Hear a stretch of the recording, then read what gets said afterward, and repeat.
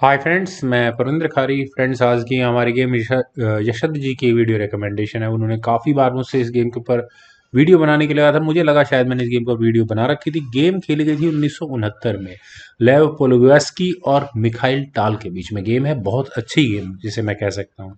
सी के साथ English opening के साथ लेव ने यहाँ शुरू किया। नाइट एफ़ सिक्स यहाँ मिखाइल टाल का मूव आया नाइट सी थ्री देन हुआ E six knight F three तो डी फाइव डी फोर तो C five C takes D five knight takes D five then हुआ ई फोर नाइट पर attack knight takes C three B takes C three C takes D four C takes D four इतना सब material exchange करने के बाद black को यहाँ मौका मिला एक चेक देने का अपने बिशप से, उसको बी फोर स्क्वायर पर ले जाकर।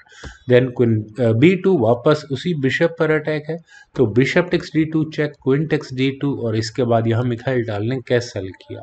लेवपोलवेस्की ने यहाँ अपने बिशप को निकाला सी फोर स्क्वायर पर देन नाइट सी सिक्स और अब यहाँ कैसल किया वाइट ने। B six then rook goes to D one bishop B seven तो rook goes to E one knight A five bishop पर अटैक तो बिशप आया बी थ्री स्क्वायर पर।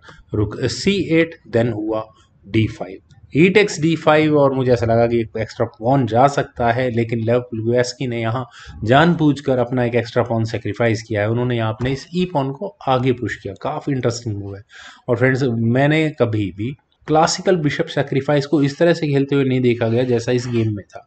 यहाँ पहले खेला गया ब्लैक के द्वारा नाइट सी फोर। तो क्विन गई एफ़ फोर स्क्वायर पर, देन नाइट गया बी टू स्क्वायर पर। यहाँ इस रुक पर अटैक है, लेकिन ऑल स्टेज सेट फॉर लेवपोल की उन्होंने यहाँ किया bishop takes H seven check. King takes H seven होने के बाद हुआ नाइट जी फाइव चेक और नाइट जी फाइव के बाद अगर ये किंग वापस जाता है तो प्रॉब्लम्स ही प्रॉब्लम्स है। तो फिर तो चेकमेट करने में ज़्यादा प्रॉब्लम होनी नहीं चाहिए। खैर किंग आया जी सिक्स स्क्वायर पर देन हुआ एच फाइव और एच फाइव का मतलब इंटेंशन क्लियर है। इस एच पॉइंट को आगे पुश करके ब्लैक की गेम को पूरी तरह से एक्सप्लॉइट करना। इस पॉइंट पर मान लेते हैं कि अगर black knight X D one के ऑप्शन को ऑप्ट करता है तो व्हाइट यहाँ एच फाइव चेक करेगा। और अगर यहाँ ब्लैक ने किंग टेक्स एच फाइव किया देन जी फोर चेक होगा। किंग एच सिक्स स्क्वायर पर जाएगा और उसके बाद यहाँ ये discovered check discover in fact discovered check होगा कोइन तक अटैक जाता है।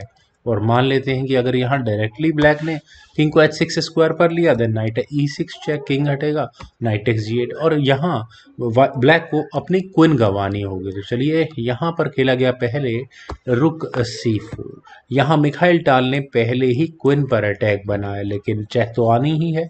एच फाइव चेक और ऑब्वियस है king takes H five then G four वही सारा सीक्वेंस यहाँ शुरू हो जाता है। और किंग अब कहीं भी जाए इधर किसी भी स्क्वायर पर प्रॉब्लम्स ही प्रॉब्लम्स होंगी, यहाँ ब्लैक के लिए, खैर।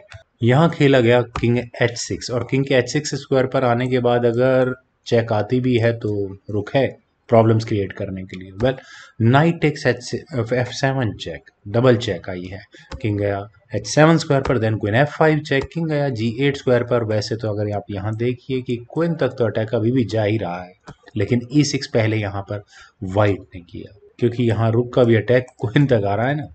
खैर नाइट टेक्स डी वन अगर अभी भी होता है तो ई e सेवन और किंग और रुक पर फॉक होती है। वेल कोई नहीं, यहाँ पहले खेला गया, कोई नहीं। F six queen exchange offer है। Queen takes F six G takes F six और फ्रेंड्स अगर आप यहाँ कैलकुलेशन करें तो एक knight Mikhail Tal not exactly एक बिशप मिखाइल टाल के पास एक्स्ट्रा है। और पॉन्स की अगर हम बात करें तो चार पाँच पॉन्स और चार पॉन्स ब्लैक के पास है, पाँच पॉन व्हाइट के पास है। लेकिन व्हाइट का ई e पॉन बहुत डेंजरस हो चुका है।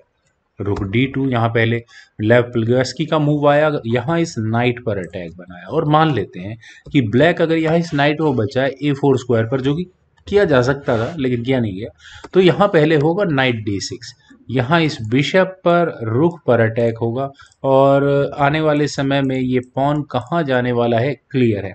तो bishop C six was the best option for यहाँ पर ब्लैक के लिए देन होगा। ई सेवन रुक को ई एट स्क्वायर पर फाइनली लैंड करना ही होगा। Knight takes E eight bishop takes E eight then rook takes D five और यहाँ अब इस गेम में काफ़ी इंटरेस्टिंग ऑप्शन खुलकर आएँगी आने वाले समय में, पर चलिए, वही देखते हैं जो यहाँ गेम में हुआ था। यहाँ इस पॉइंट पर होता रुक सी सिक्स यहाँ पर मिखाइल टाल ने कहा कि okay I have an material चलिए, इस नाइट को जाने देते हैं और इस डेंजरस पॉन को लिया जाए।